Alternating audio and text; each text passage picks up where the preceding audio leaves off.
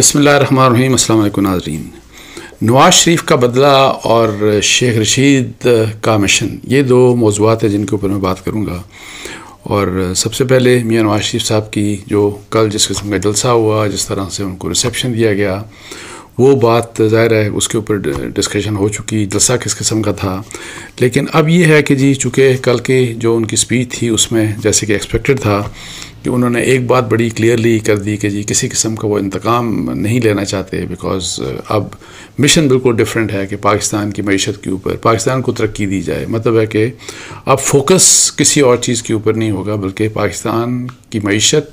महँगाई पर काबू और ये जो पाकिस्तान के जो मसाइल हैं बेसिकली उनको हल करने का जो फोकस है और उसका एजेंडा ऑलरेडी आपको पता है सेट हो चुका। उसका एजेंडा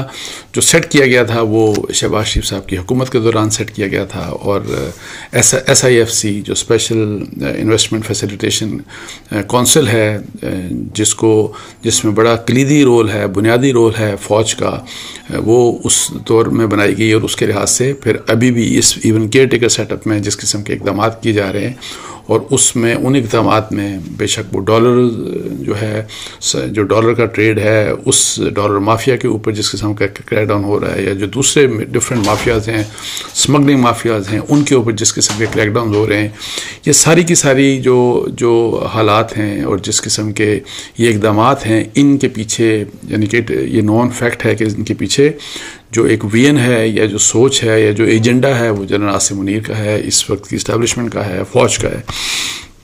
तो एक तो ये कि जो मियाँ साहब ने जिस तरह मैंने कल भी बात की थी कि जो बात कर रहे हैं वो उसी एजेंडे के मुताबिक जो कि ऑलरेडी एक सेट एजेंडा है सेट कर कर दिया गया है उसी एजेंडे के मुताबिक अब जो आगे के हालात हमें जो अनफोल्ड होंगे जो नए इंतबात के बाद जो इलेक्शंस के बाद जो हुकूमत बनेगी और उस लिहाज से जिस तरह से हमें जो चीज़ें नज़र आ, आ रही हैं तो वो उसी लाइन में सब कुछ होता हुआ नज़र आ रहा है। लेकिन इस सारे उसमें जब इंतकाम की बात नहीं तो बदला तो ज़ाहिर है, एक एक, इस सारे जो इवेंट्स हुए, जो कल सारी दुनिया ने देखे, इसमें मियाँ नवाज़ शरीफ साहब के लिए क्या उनके लिए, उन्होंने उन्होंने क्या हासिल किया? उनको किस किस्म की एक होता है ना कि जी आपको, आपके लिए भी कोई सेटिस्फेक्शन ज़ाहिर है, एक होनी चाहिए। तो उसको अगर समझना है तो उसको समझने के लिए ज़रूरी है कि जो हालात, जो रियासत की तरफ़ से जिस किस्म के हालात उनके लिए पैदा किए गए थे 2017 में 2018 में, और फिर उससे पहले भी है जो भी 2014 का अगर आप जो जो धरना था, उसकी भी मिसाल ले लें। लेकिन असल में जिस तरीके से उनको निकाला गया, जिस तरीके से व्हाट्सएप जीआईटी बनाई गई, जिस तरह से उनको एक बहुत ही फ्रिवलस ग्राउंड्स के ऊपर बेटे से तनख्वाह ना लेने के जुर्म के ऊपर उनको डिसक्वालीफाई किया गया फॉर लाइफ फिर उनको जिस तरीके से सज़ाएँ दिलवाई गई ये जो अलजीज़िया और ये जो दूसरा केस था एवन फ़ील्ड का, और फिर उनको चोर डाकू एक एक बयानिया बनाया गया, फिर उनको जेल में डाला गया, और फिर उसके बाद ज़ाहिर है उनकी सेल्फ एग्ज़ाइल का वक्त आ गया, वो यहाँ से चले गए, बीमारी की वजह से। तो वो एक ऐसी चीज़ थी जिसमें रियासत बेसिकली उनको पेंट रियासत ने जो किया था, वो पेंट एक नेगेटिव उन रोल के ऊपर किया था। और चोर, डाकू और लूट के खा गए, अरबों की करप्शन खरबों की करप्शन ये करप्शन वो करप्शन सो सारा ओवरऑल मनी लॉन्ड्रिंग हर किस्म का इल्ज़ाम यानी कि उनके ऊपर लगा। अब ये जो कल सारा कुछ हुआ, ये आप देखें कि रियासत, अब मैं रियासत की बात इसलिए कह रहा हूँ कि ओवरऑल एक ख़ास माहौल बना, इस एक ख़ास माहौल में उनको वापस लाया गया।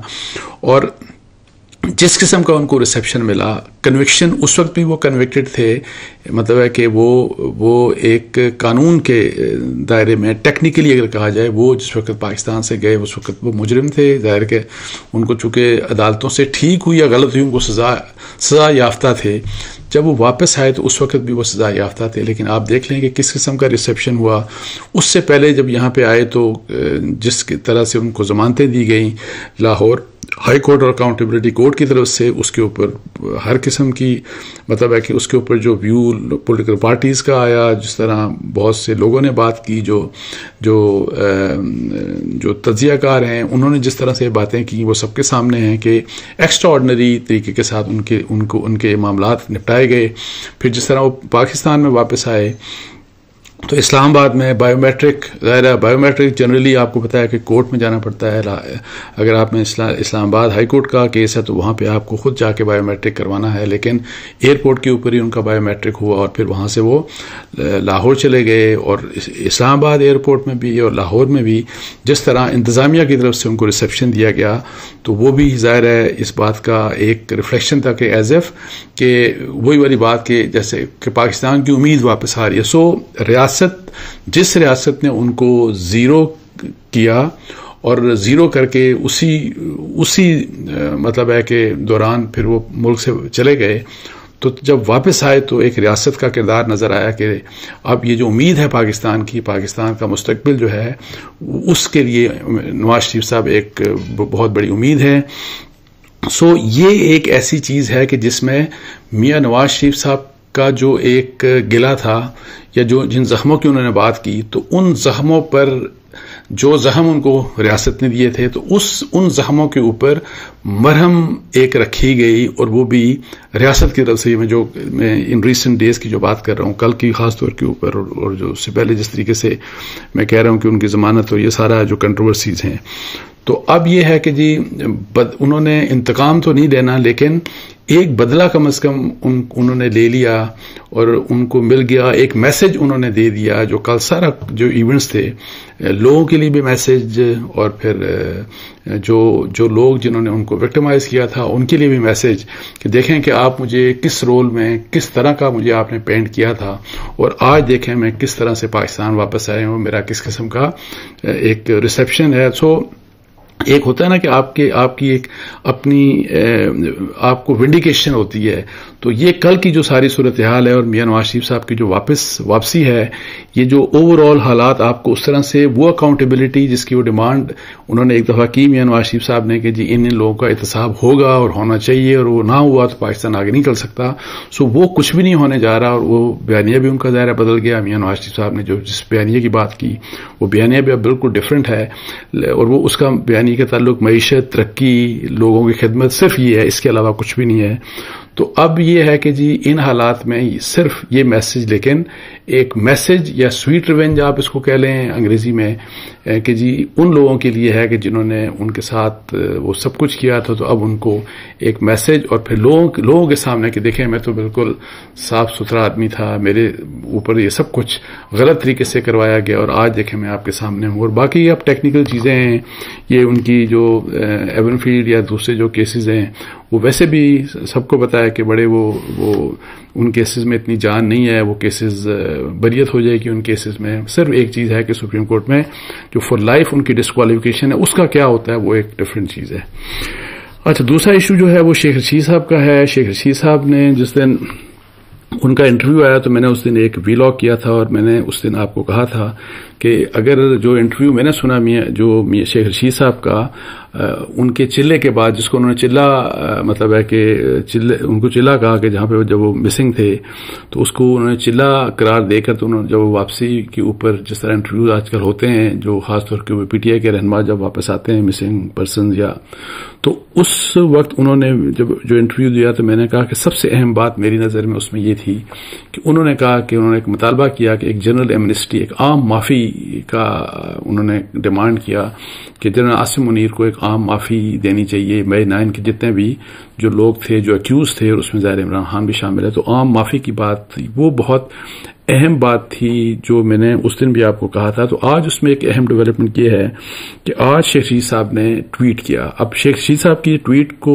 समझने के लिए ज़रूरी है कि वही कि उन्होंने, उनका चिल्ला था उन्होंने चिल्ला, वो कहाँ पे काटा? उस, वो किस किस्म की सूरत हाल थी? और इस किस्म के जो चिल्ले होते हैं, जो उनकी ज़ुबान में जिसको चिल्ला तो अगर ये चिल्ला खत्म किया जा रहा है, या वो जब खत्म जब अगर किया गया तो ज़ाहिर है उसके पीछे भी कुछ उसके पीछे भी कुछ कंडीशंस होंगी, कुछ अंडरस्टैंडिंग्स होंगी।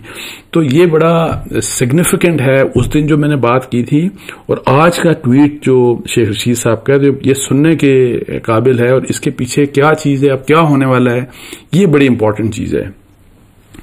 अच्छा इसमें वो शेख साहब ये कहते हैं आज के ट्वीट में कि मैं सारी कौम का, अपनी माओ, बहनों, बेटियों का मशहूर हूँ, जिनकी दुआओं से कमो पेश चालीस रोजा चिल्ले के बाद मुझे रहाई नसीब हुई। मुझे नहीं मालूम कि मैं कि मैंने ये चिल्ला किस जगह पर काटा, लेकिन मुझे चिल्ले के दौरान किसी भी किस्म की कोई तकलीफ़ नहीं पहुंचाई गई। अब मेरी ज़िंदगी का मिशन इन तमाम लोगों को, जो रूपोश हैं, या छुपे हुए हैं, या जिनसे 9 मई की गलती सरजद हो गई है, या जो बेगुनाह जेलों में हैं, इनको आम माफ़ी दिलाना है। जो भी कैटेगरीज उन्होंने देखे हैं, आप वो बात, जिन कैटेगरीज की बात कर रहे हैं और वो तमाम के तमाम पीटीआई के लोग हैं, जो खुद से हाइडिंग में हैं या जो जो, जिन, जो मिसिंग हैं, जो खुद कहीं छुपे हुए हैं और सामने नहीं आ रहे, या जो नौ मई की, जो अटैक्स थे, जिसको रियासत के ऊपर हमला कहा गया, जिसको ब्लैक डे कहा गया तो उनके बारे में कह रहे हैं कि मेरा मिशन अब यह है कि इन तमाम लोगों को, इनके लिए आम माफ़ी दिलाना जो है, वो उनका मिशन है। सारी कौम इस पुरअमन मिशन में मेरे ट्विटर पर मेरा साथ दे। मैंने कभी भी अपने ट्विटर की अपील नहीं की, लेकिन आज मैं पहली मरतबा अपील कर रहा हूँ कि 9 मई की गलती जिन लोगों से सरजद हुई है, उनको आम माफ़ी की अपील के मिशन पर मेरा साथ दें। कल से मैं इस मिशन के लिए अपनी शुरुआत का आगाज़ कर रहा हूँ। कौम की दुआओं की ज़रूरत है। इनशाला कामयाबी हमारा मुकदर बनेगी और अल्लाह हमारी माओ, बहनों, बेटियों की दुआओं के सदके इस मिशन में ज़रूर सुरखरू करेगा। वेरी इंपॉर्टेंट डेवलपमेंट और मुझे लग ऐसे रहा है कि एक ऐसे वक्त में कि जब सुप्रीम कोर्ट ऑफ़ पाकिस्तान में कल इसी ये जो मिलिट्री ट्रायल हो रहा है, इसके ऊपर भी बेंच आपको पता है, फाइव मेंबर बेंच बना दिया गया है एजाजुल एहसन साहब के के उसमें वो लीड करेंगे उस बेंच को। और वो यही जो मिलिट्री ट्रायल का जो केस है, उसको वो सुनेगा और इसके साथ ही एक ये भी डेवलपमेंट है कि मिलिट्री ट्रायल ऑलरेडी स्टार्ट हो चुका है। ये हुकूमत ने जो लिख के दिया है सुप्रीम कोर्ट ऑफ़ पाकिस्तान को कि वो जो 102 लोग उन्होंने पकड़े, उनका ऑलरेडी मिलिट्री ट्रायल स्टार्ट हो चुका है। तो ये जो शेख रशीद साहब की जो ट्वीट है, उससे लगता ऐसे है कि कहीं पे और ख़ासतौर के ऊपर मैं इस्टेब्लिशमेंट की अब बात करूँगा